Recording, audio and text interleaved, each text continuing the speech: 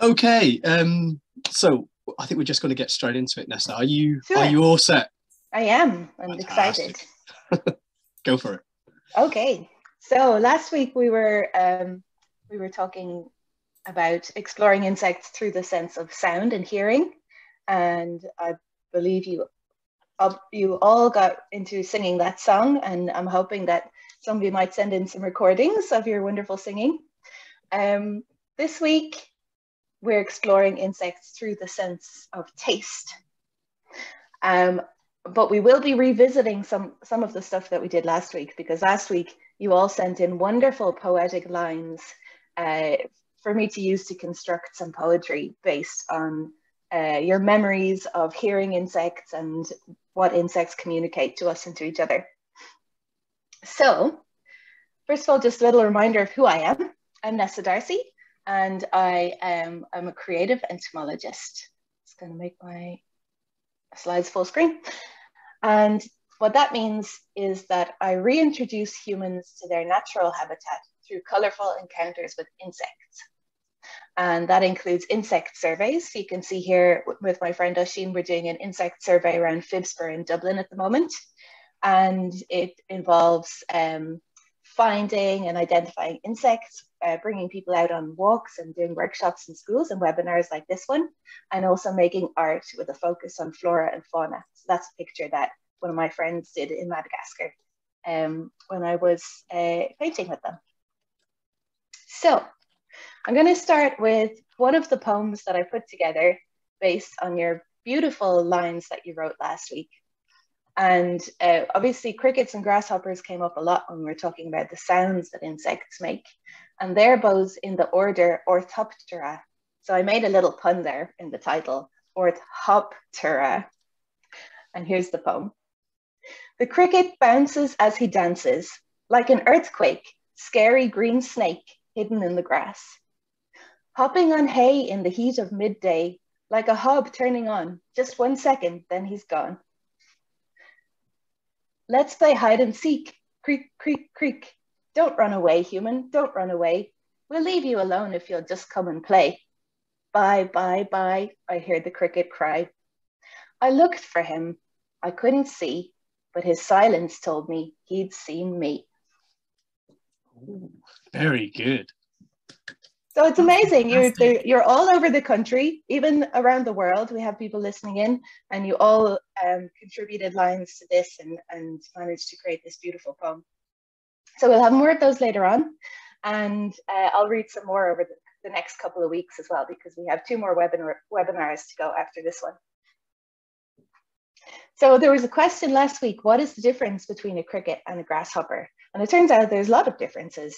So we knew that crickets or grasshoppers rub their legs and wings together to make sound. Crickets rub their wings together to make sound. But also grasshoppers have shorter antennae, crickets have really long antennae. Grasshoppers have their ears on their abdomen, that's like their belly, and crickets have ears on their front legs. Um, grasshoppers are active mostly during the day, and most crickets come out at dusk in the evening. Grasshoppers mostly eat grass, and crickets will eat lots of different things, including other insects, which brings us on to our topic of the day. What do insects eat? What do insects taste like? How do insects taste? We're going to be exploring uh, the theme of taste today. So let me just find my notes because I, as usual, ha- want to tell you a lot about insects. I have a lot to share because there's just so much to learn about insects. So we're going to have a look at what they eat, what they taste like, and then if your teacher has had a chance to look at the resources and do a little bit of shopping, we're going to prepare and eat some insects. Now, teachers, uh, don't worry if you haven't had a chance to do that yet. Um, you're, I know you're all incredibly busy and doing an amazing amount of work all the time. So let's give our teachers a round of applause. So if you did manage to get your materials and you still need to prepare them uh, for the kids, um, I'll just let, let you know, um, I'm gonna put it in the chat box, what you need to, uh, to give each child. So where have I put that? Um, bear with me a moment.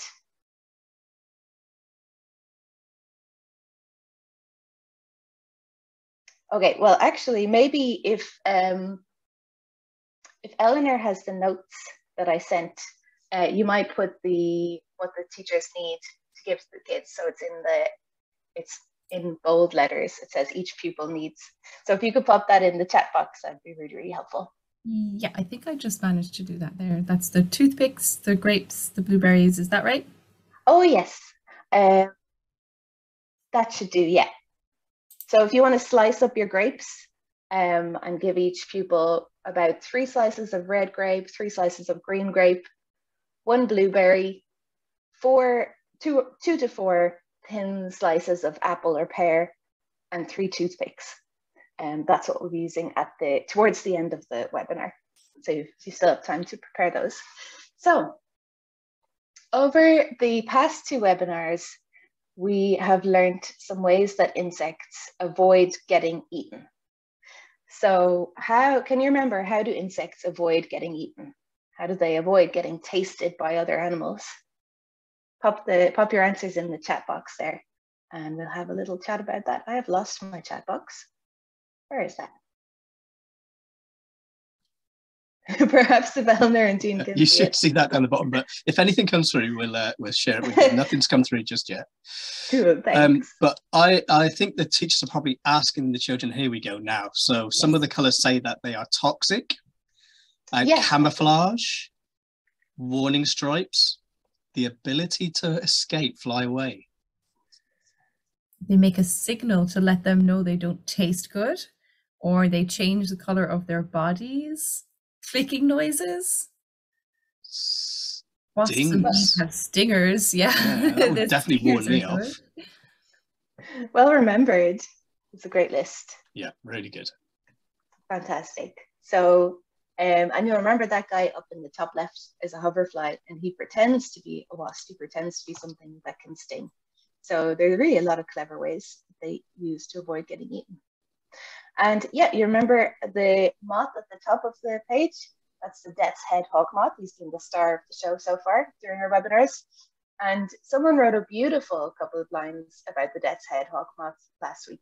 So here's another poem. He dodges the rain, screeching his way to his one true love. He's bearing a gift of stolen honey. So you'll remember that the death's head hawk moth has a taste for honey, which they steal from honeybee colonies. Um, so I'm wondering if you know, how do insects taste? Dean, Eleanor, any ideas? How do insects taste? I imagine they don't taste very nice. That's not what I meant. Oh, sorry. I yeah, I thought you meant eating insects. With okay, their, how do they their mouth. how do they taste? Yeah. like the same as us do they have do they have like um taste buds Tongue? right we have Taste taste buds do they have taste buds somewhere Well, they do have um, chemical receptors on certain parts of their bodies. So uh, you can see a moth here drinking uh, drinking some sugar water with his proboscis. So they have some taste buds on those. And there's a, a butterfly up the top there um, drinking salty mineral water from a stream. Gr- Grania, Grania here says, uh, I have to say this now, um, that uh, moths taste through their feet. Yes, absolutely. That's just what I was about to say, and you're absolutely correct.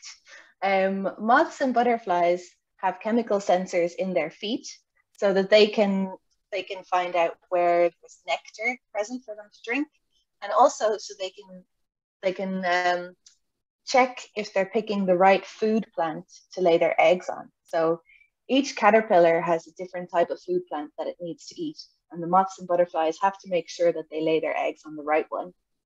And so that's how they do it. They land and their feet uh, taste the plant. So you mentioned a proboscis. That's kind of like a straw, is it? Yeah, that's right. It's the straw that the that the um, butterfly or moth, excuse me, can roll up. So they they kind of roll it up when they're not drinking and then extend it to to get nectar um, out of the flowers because they're actually um, good pollinators as well, like our bees. And um, not only flowers and nectar, but they'll also, some of them drink honeydew, which is kind of like a sugary poo that the that aphids produce. And some of them um, will actually drink the juices from decaying animal matter. So Ew. lovely. so who likes the taste of insects? What what kind of animals eat insects? Pop your answers in the chat box there. We've we've got one comment come in about how um how insects taste already. So Wendy has said that woodlice taste like prawns because they're actually closely related. And then Mark Abbott has said that they taste chewy. Chewy. and and does he know that from experience? I don't, I don't know. We also have a lot of answers coming in on who eats insects. So we have birds and spiders. Brilliant. And you're absolutely right. Woodlice are supposed to taste like prawns because they're crustaceans and they're related to prawns and shrimp and uh, lobsters and crabs. Not And from they- experience, Mark says. Not from experience. Okay. You, you have a picture of a bat, and they are really ferocious eaters of insects, aren't they? They are, They yeah. can eat thousands in a night. Is that right?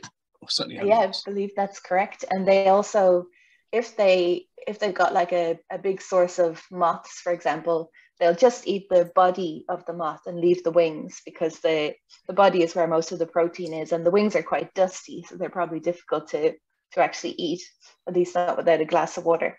So the not only bats but that blue tit up there on the left in the top left um blue tit chicks need now it's it's such an unfathomable number that I can't remember it uh, off the top of my head. They need around 100 caterpillars every day while they're in the nest.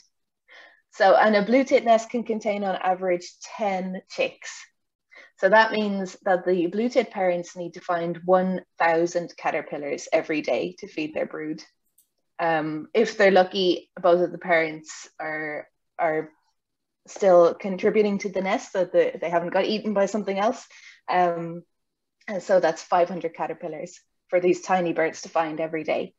And that's why it's really important that we that we let weeds grow um, because or wildflowers as I like to call them because uh, all moths and caterpillars as I was saying have different food plants and as as many different plants as you can have the more caterpillars that you'll have for blue tits to eat to feed to their chicks so we also have, what else have we got there? And does anyone know what's going on in the bottom middle picture? That looks like a flying ant. It's related to an ant. It's a Mm. type of wasp. Oh, So wasps, bees, ants, and sawflies are all in the order Hymenoptera. Can you guess what it's doing? Is he is he eating the caterpillar? Is that a caterpillar that he's trying to sting and then eat? He is doing something to a hoverfly larva. Yeah, so it's like the hoverfly version of a ah, caterpillar. oh, caterpillar. the wannabe. Gotcha. the wannabe exactly and what he's doing is laying or what she's doing is laying her eggs in the larva and Oh. those eggs will hatch out into smaller larvae that will eat the hoverfly larva from the inside out so Okay. insects eat other insects and the hoverfly larva itself eats other insects it eats aphids so um, it's a really handy one to have in the garden to protect your Okay. plants Okay, we've got some really good ones coming up. I'm going to have to share this with you. And we've got people in China eat insects. In France, they eat snails. In Uganda, children eat ants. And some people eat roasted tarantula. Oh, and jelly worms. and jelly worms. yeah. Wow, these are fantastic answers. It sounds like you've done all your research before the webinar and you're trying to steal my job from me. But uh, you're absolutely right. Yeah, that's um, that's a really nice uh, international overview of of um, humans eating insects because it's extremely common actually, and we're going to get into that in a second.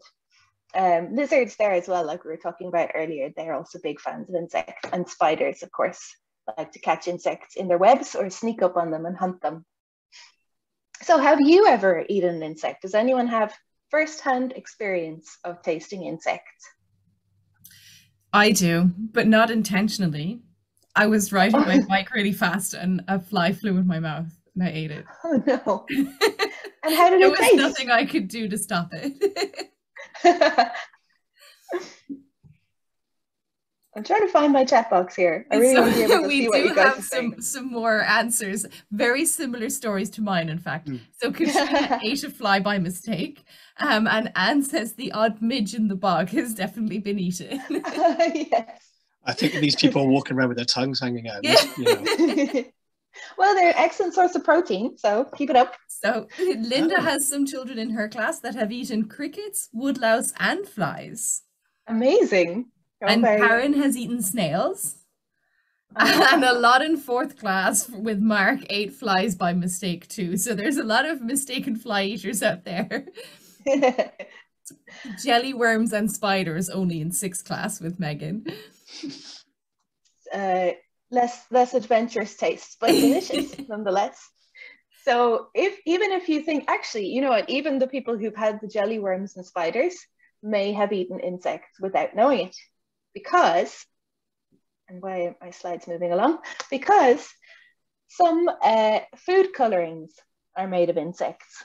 So if you've had red jellies, there's a chance that they've been that the food coloring in them is called carmine and that is made from a cochineal bug. So that's um, it's a bug that lives on these um, prickly pear plants, and you can see the traps in the in the top one there. The insects will go and hide in those. People can collect them and then make this natural red dye out of them. And we also have on some on some sweets and things, you'll have a glaze that makes them shiny and sometimes that is made from a substance called shellac, which is this resin at, in the top picture that's um, exuded by the lac bug. So they, they'll move along the plant living inside this little tube that they make out of resin. And that resin is what is used to make some jelly beans shiny. Not all of them, but, um, but sometimes. So, oh wow, people really know their edible insect stuff. So insect farming and processing produces significantly lower greenhouse gas emissions. Not only do insects produce less waste, their excrement called frass is an excellent fertilizer and soil amender. So yeah, it's um, there's a lot of research being put into how insects could be a more sustainable source of protein than meat, than uh, mammal meat, um, and so insect eating in the in Ireland and in the rest of the Western world is becoming more uh, more common. and Somebody, else somebody says, put gross, Gross. but you know, if we're talking about saving the planet, um, yeah, okay, I might be tempted.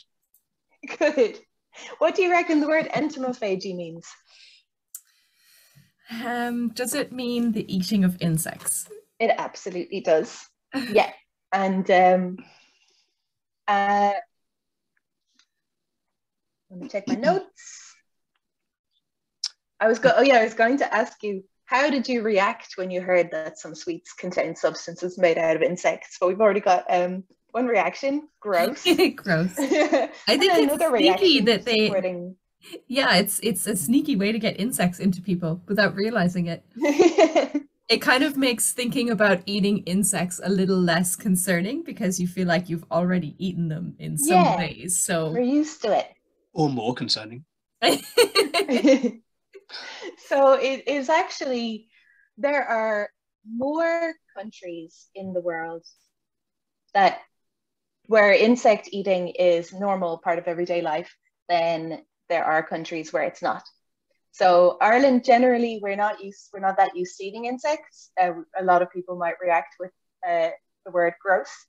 Um, but there are actually more places in the world that do eat insects so it's not such a crazy idea um, but some one way that people are starting to eat it over here is um, is through like cricket flour, cricket protein bars, and snacks.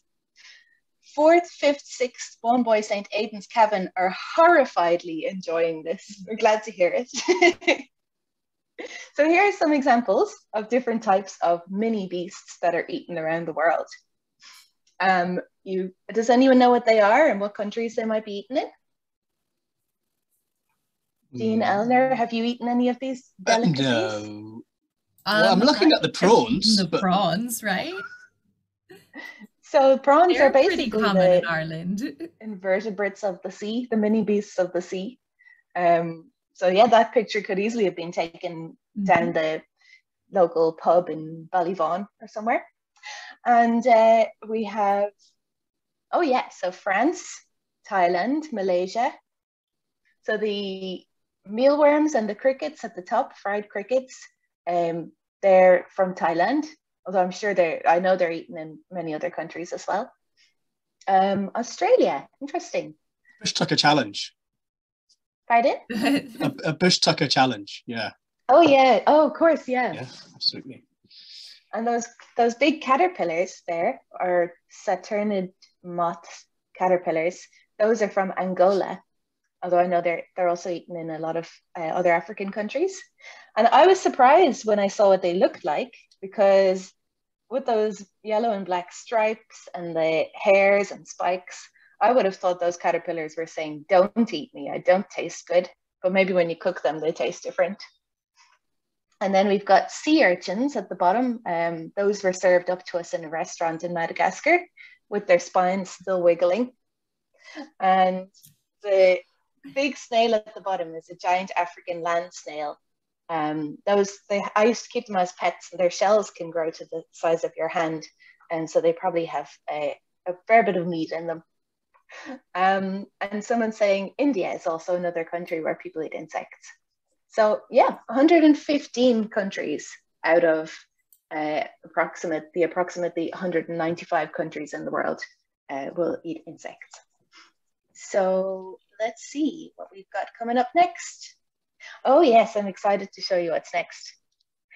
And someone's just pointed out that violins and cellos were traditionally varnished with shellac varnish made from the lac insect resin. That's that's a lovely thing to know. I think um, I think often sweets now will will have beeswax on them instead of shellac, so it's still insects helping to make our sweets shiny. So here is Lake Malawi, which is between Malawi, Mozambique, and Tanzania. And can anyone guess what that big cloud over the lake could be? Oh, yeah, shellac nails are made with the same shellac. That's right. Someone just asked there in the chat. So what I do mean, you think? To me, that looks like um, uh, fire on the horizon, or you know, a rain uh, forming clouds or water forming clouds, or something like that. But it's dark. I was gonna say a fire Ash as well, cloud, actually. yeah. Yeah, it makes Good me one. think of smoke. Like But you're going to tell us it's insects, right?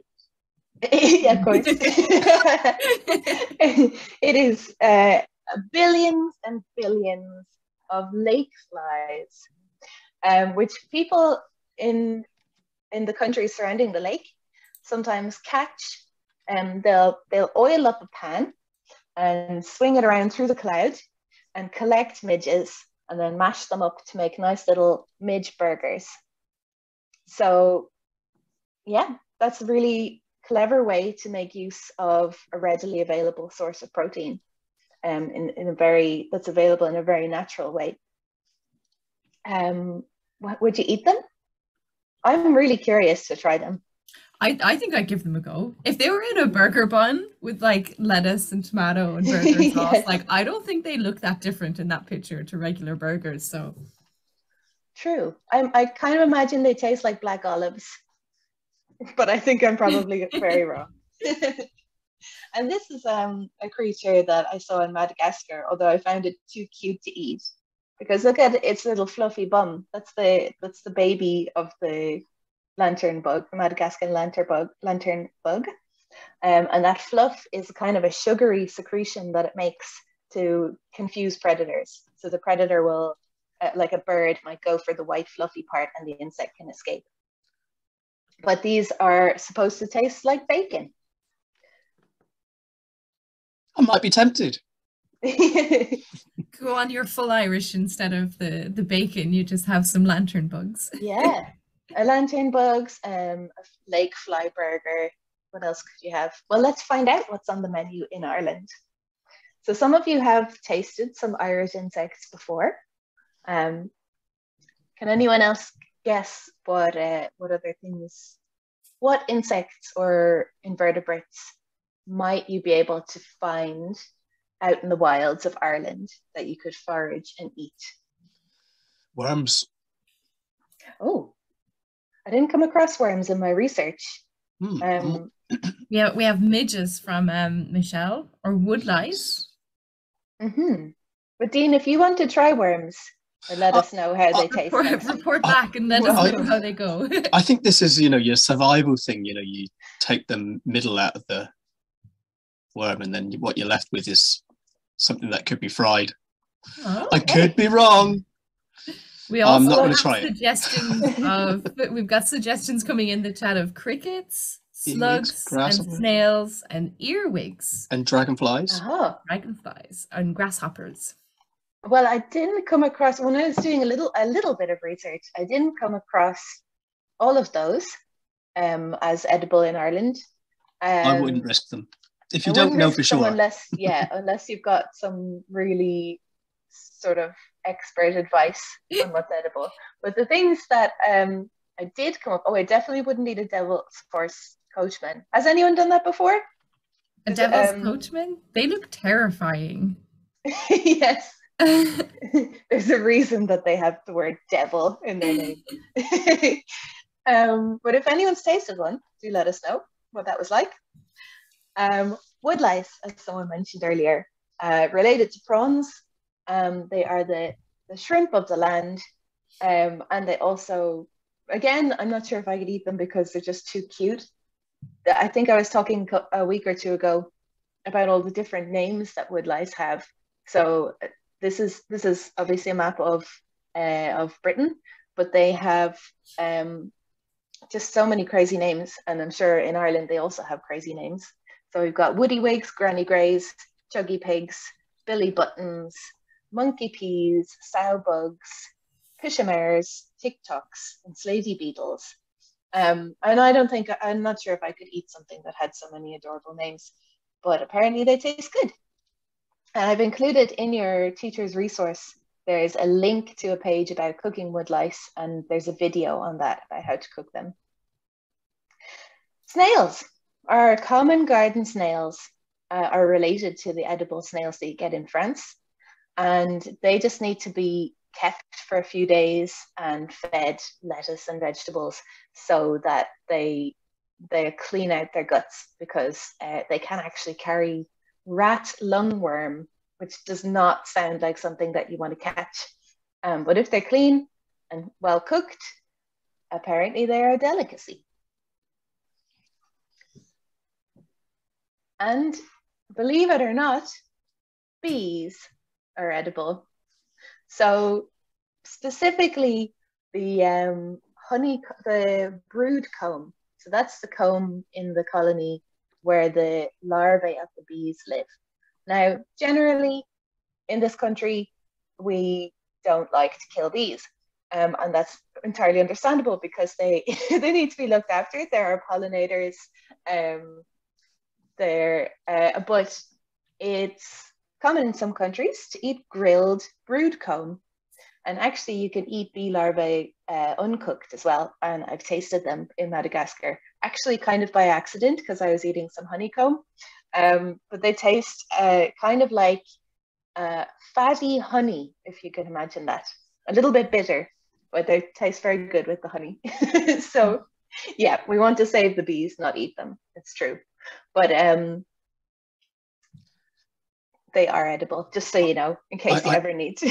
I looked up, and the dragonflies you can eat, and the worms you can eat, Oh wow! and the earwigs you can eat, I didn't do enough research. grubs clearly. you can eat. There's a whole load of things we uh, could be having on could a. eat if we got stuck.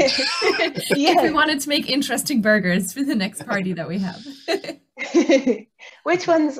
Which ones taste best? That's what we need you to find out for next week. Well, we have two people in fourth class with Mark that say woodlice look delicious. So there might be a few testers out there for next week that will tell us what they think. fantastic. Now, so today actually we are going to eat some bees. Um, and I've asked you teachers to prepare some materials for preparing these bees to eat. And we're going to show you now how that's done. So um, you should all have some, hold on, I'm going to stop sharing this for a second. You should all have some sliced grapes. So some black or red and some green or yellow. And you should have, and if you don't have these things yet, don't worry, you can make them in your own time and just watch the tutorial today. You should have some slices of apple or pear. And we have some blueberries. I also have a couple of raspberries in just for fun because they came with my blueberries, but it wasn't on your list, so don't worry if you don't have those. Now, what do you think all of these fruits have in common? Why do you think I chose these fruits to prepare our bees? I think I think that they may be pollinated by bees. Is that is that their connection? You are absolutely correct. These are all pollinated by bees or other insects, um, such as hoverflies, moths, butterflies, wasps. And the did you know that the best um, what am I trying to say? The uh, the more different types of insects pollinate fruit, the better the fruit. So the fruit develops better, tastes better. Um, so it's a really good idea to conserve all of our pollinating insects. Um, and they'll make some really fantastic fruit for us to eat. So we're going to, I'm going to show you how to turn these into a bee. So I was only joking. We're not going to eat real bees today. Don't worry. Um, but you're going to need, oh, you're also going to need um, some toothpicks. So two or three toothpicks should be plenty for making your bee. And we're going to start off by assembling our sliced grapes. Now, these are, of course, usually stripy. So arrange your different colored grapes in a stripy formation. As if you were preparing to make a, a necklace or a kebab out of sliced grapes. So you're going to start off by arranging those like this. Mm, very good. and then you're going to skewer them how can I show you this at the same time as skewering? You're going to stick your toothpick through the slices of grapes. Now I'll, show you a couple of these, so don't worry if I'm if I'm going too fast or if I am going too fast, let me know and I'll slow down. So here's what we got to start off with. That's our bee body.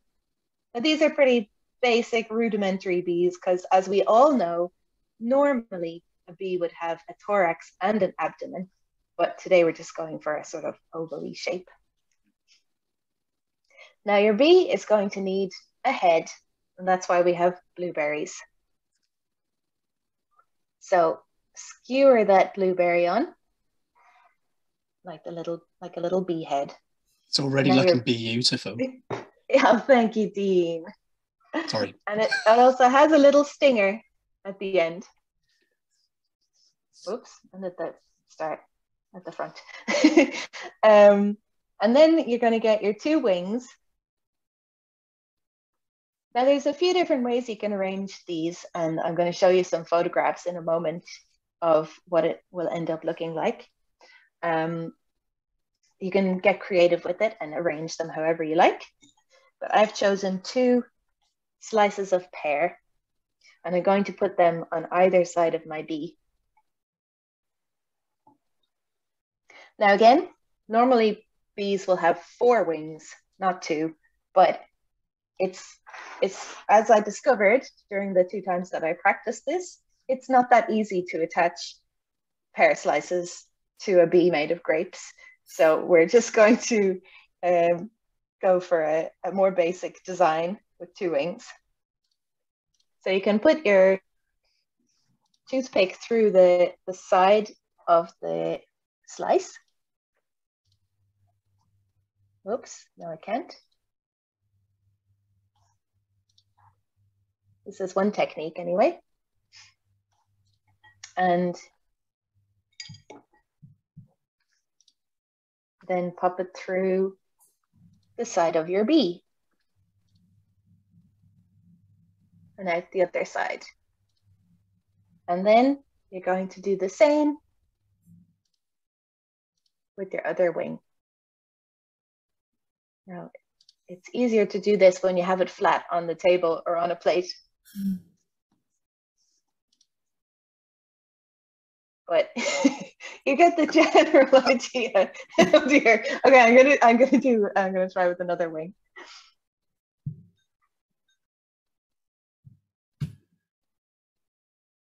I have to say that looks really very smart and Yay. tasty. Yes. Oh yeah, the best thing about these bees is they're going to be delicious on your break on your lunch break. So the first time I learned to make these bees was um, was when I was sick, and uh, and it is one of the best activities you can do when you're sick because it's it's creative, it's amusing, um, and then you get to eat lots of fruit, which is really good for you when you're sick, full of vitamins. So there's our first bee. Now I'm going to show you a few um, a few different designs of bee that I've made with my friends. Um, on the next slide. And you can gain some inspiration from those. I've now got pear juice all over my laptop. Oh, so here's where I got the idea. This That's from this great website. Do you know, Nessa, we had some pictures sent in before of the um, bee. Maybe we could encourage some of the students to do the same again with these. That'd be fantastic to see. So on the next slide, I've got uh, all the details you need to send in your, your bee photographs. So as you're making them, send them in to us and Eleanor will start, will show some of them at the end of the webinar.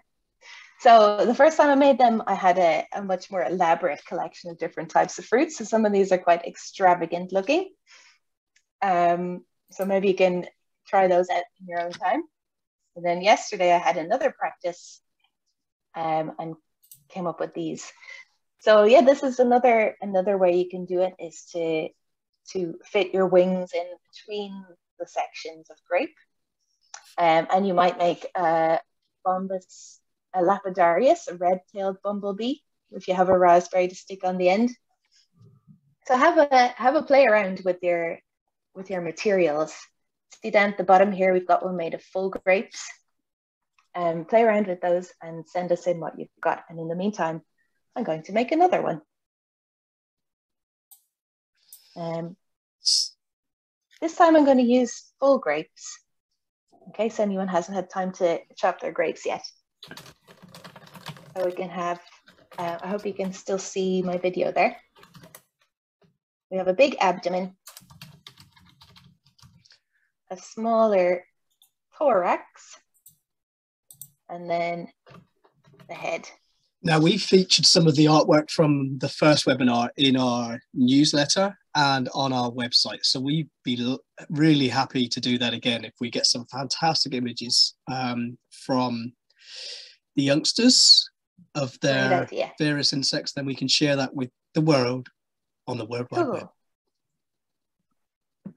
And we do have the world watching it, uh, listening in and, and watching and looking at the newsletter, don't we? We have some uh, viewers from America and hopefully beyond as well. So here's how my next bee is going. And whilst you're doing that, Nessa, can we just ask you a question? Hopefully, it won't Sure. ruin your concentration. There was a question from um, Miss Maguire, and it's Are there any predatory non native bees that threaten our indigenous species Ooh, in Ireland? There- Any predatory non native insects? there are no, oh, insects or bees? Or non native bees, it said, yeah, but there as far as i'm aware there are no predatory bees um there's some concern, and I don't know enough about it to say whether whether it's the case or not. Um, but there's some concern that maybe with the focus on honeybees, that um, and providing what honeybees need, that that might be uh, out. They might sort of be out competing other wild bees, like solitary bees, in um, in some places. But there's nothing that's kind of actively attacking uh, any of our bees. So it's just a, it's just a matter of like making sure that all the solitary bees also have habitat and all the, the plants that they need as well. Does that answer your question? Yeah. There's an, a new type of bee. Um, what are you naming this new type of bee?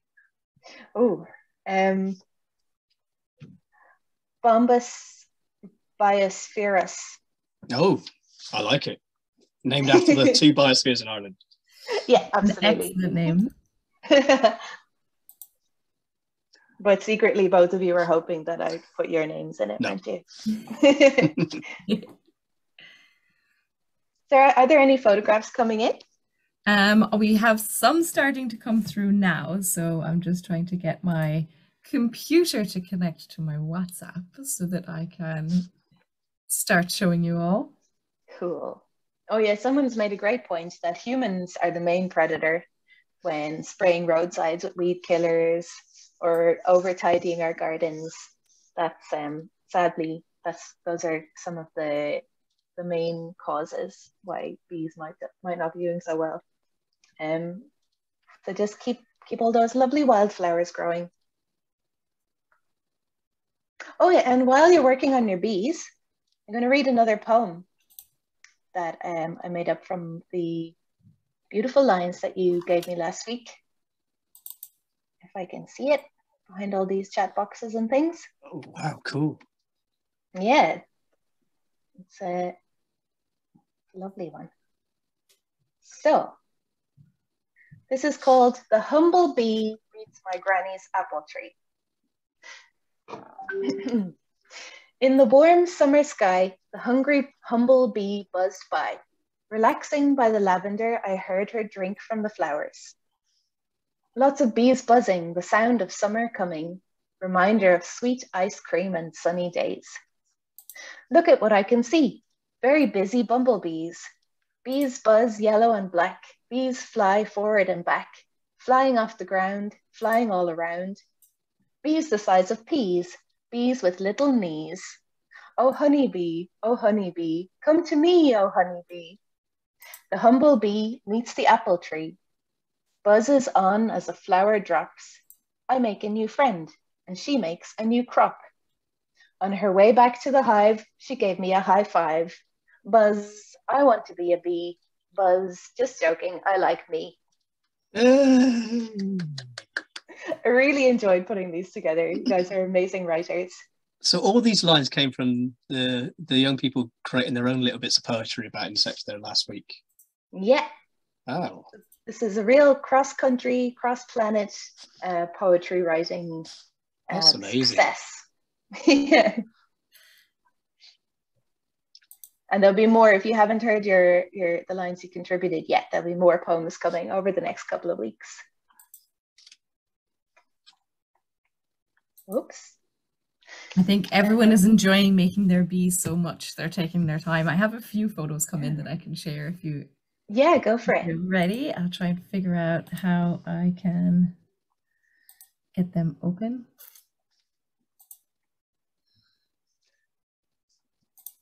I've lost the folder. oh no. I'm gonna start eating my bees. Oh, I wish I'd made some bees now. That would be a nice 11's break. Uh, here we go. Yeah, well, I suspect some people are heading off on their um, breaks um, Mm. and probably eating their freshly made bees. So hopefully you can get some pictures of them and send them to us. It doesn't have to be straight away. Um, we'll Yeah, use take them your at a time. later date, later date, and even make them during the week and send them on to us because we'd love to use them. Oh wow! So can we see those bees? So these came in um, from the Reach class, which is fantastic. can A you make lovely them plate full of bees. And then we have some there's a whole class full of bees then as well. Um, oh, there's more come just just popped in from the Reach class too. It'll take me a minute to download them. Um, so there are some amazing shapes here. A lovely swarm.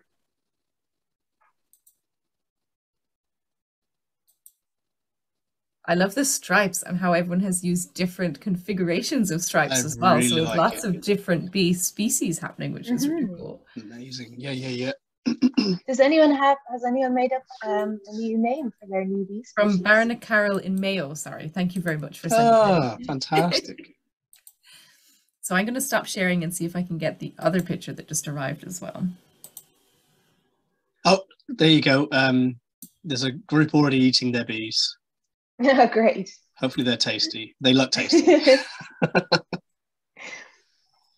I'm gonna I'm gonna eat my um snake. Okay. Sorry, Eleanor. The, the jelly snakes.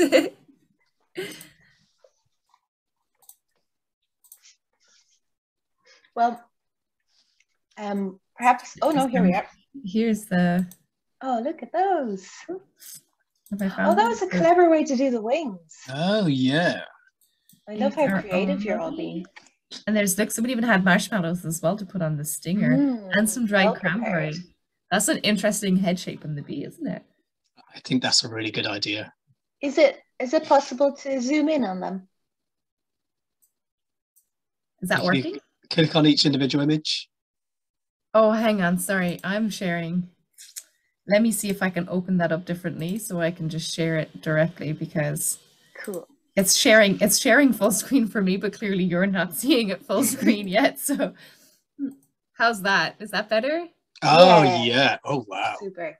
Oh, they're gorgeous. Oh, what's on the top of its head? That looks dried cranberry. cranberry. Maybe that's the Oh, queen bee. Cool. They're beautiful, aren't they? So creative. Ah, look at that. Superb. Brilliant. Oh my word. They're so they look so Oh, colorful. what is- wow. That's um, That's like weird two- looking inside. I like that. bee. That looks like um, a praying mantis or something. I definitely want to know what the name of that species is. Yeah. Oh yeah, definitely try It's funny. cranberry there. That's cool. Look at that. Oh my word-. You guys are superb. So creative. Fantastic. Look at that. I have to say the big praying mantis is my favorite because it looks best. funky. Yeah, Okay. really good. But they're all great. Amazing. I'm so impressed. we'll keep the photos coming in and we can share some more next week. And in the meantime, I'm going to share some Malagasy proverbs with you. So these are from Madagascar, where I remember I showed you the bacon bugs earlier, and they also like to eat grasshoppers and locusts. So this one, particularly at the at the top, I want you think to think about whether we have um, any sayings in Ireland that might be similar to this one. Now, I did ask my Malagasy friend what they mean, but he wasn't able to tell me. So I'm, I'm questioning whether they're actually from Madagascar. I did find them on the internet. But here's the first one If the hill is on fire, the grasshoppers are roasted. Any thoughts on what that might mean?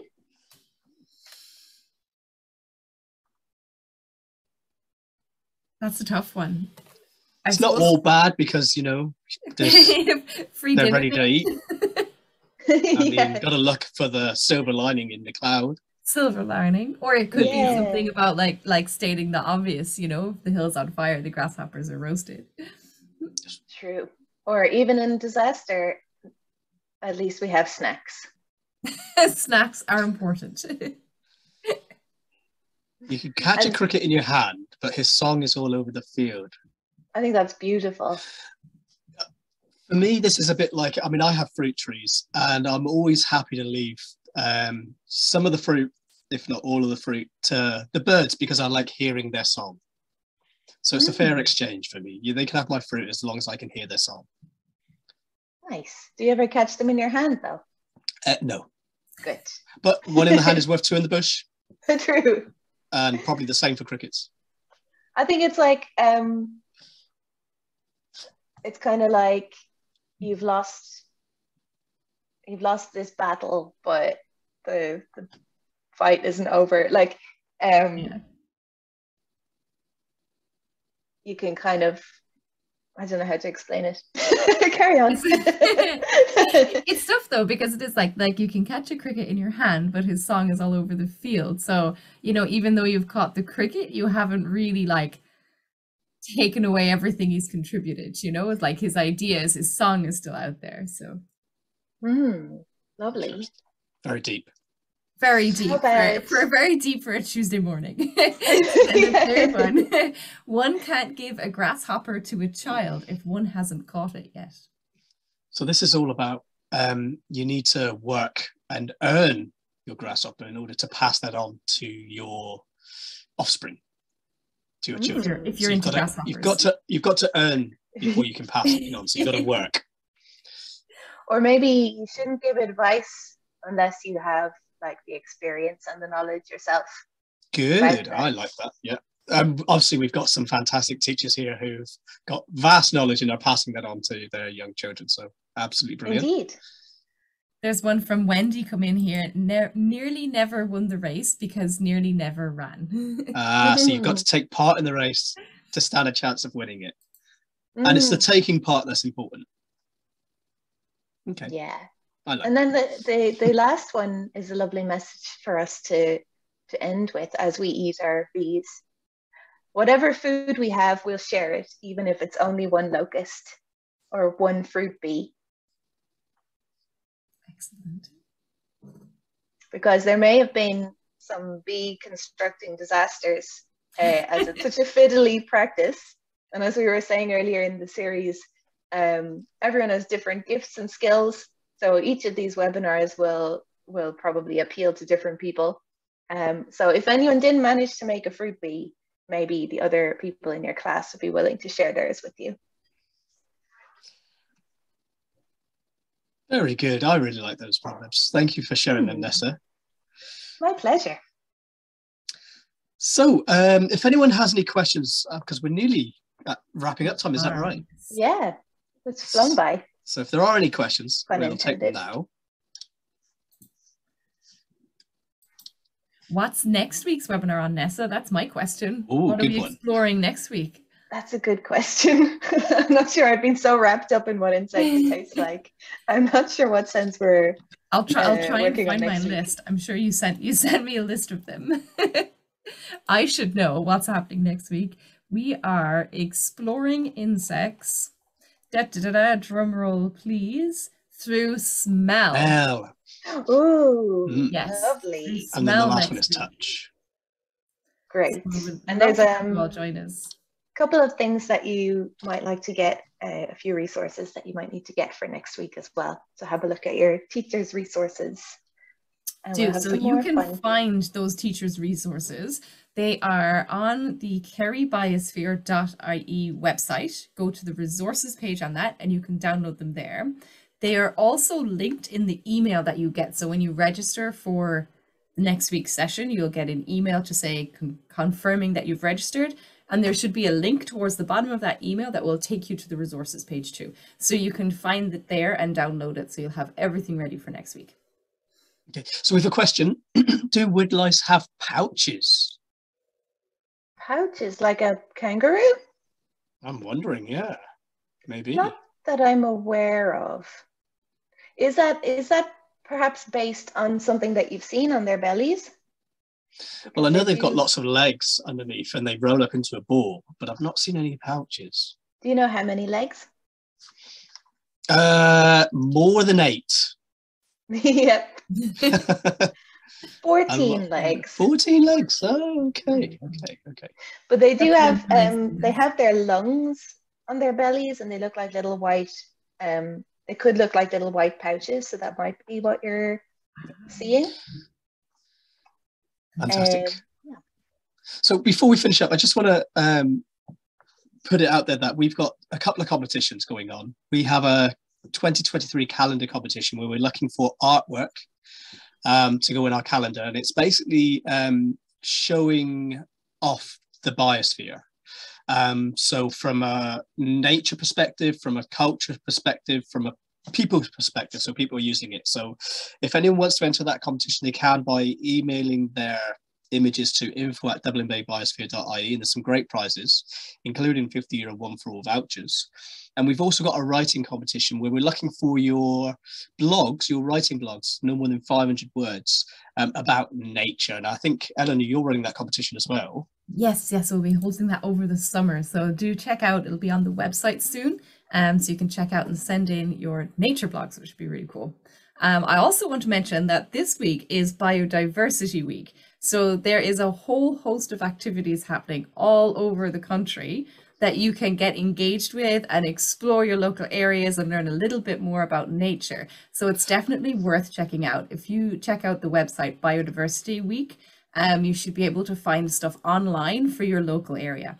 I know here in Kerry we have a whole host of things happening. And next Saturday, we're going to be working with one of our local farmers doing a bio blitz on his farm and trying to identify as many different plants and animals and insects on his farm. So that'll be really exciting. Ooh. So hopefully by next week, I'll be able to tell you a little bit more about the kind of things that we found there too. Yeah. And Nessa, I'll let you know if we find any really interesting insects.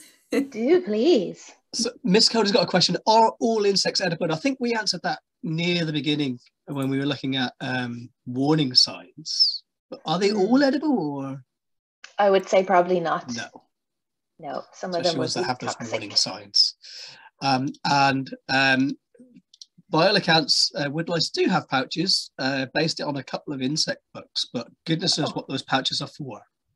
Oh. Definitely not kangaroos. I know that some cockroaches, like the hissing cockroach, has can kind of like hold its babies in a pouch and they kind of emerge instead of laying eggs they'll emerge as tiny baby cockroaches. So maybe it's something like that. That's something new for me. Thank you okay so um, before we wrap up just a reminder that this is going to well has been recorded and will appear on the kerry and dublin bay biospheres youtube channels um, so people can watch it back over um, and um, get creative with their fruit bees. Woohoo! Fantastic. Thank you so much, Nessa. Yeah. Really appreciate Thank it. And thanks, thanks everyone, everyone, for joining in. We'll see you again next week. Bye. Bye. Bye bye. Bye bye.